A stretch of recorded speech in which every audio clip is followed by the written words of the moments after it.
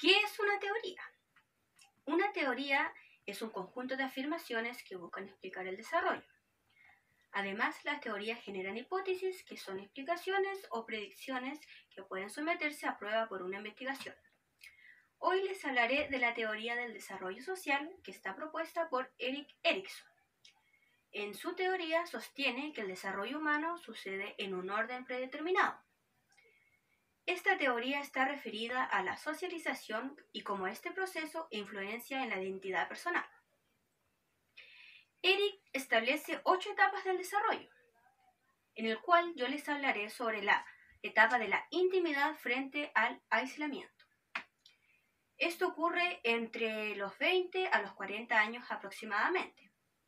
Las principales características de esta etapa son las personas al relacionarse con los demás se modifican, ya que busca relaciones más cercanas. Además, busca el compromiso recíproco, generando seguridad, confianza y compromiso. Al evadir este tipo de intimidad puede provocar la soledad o el aislamiento.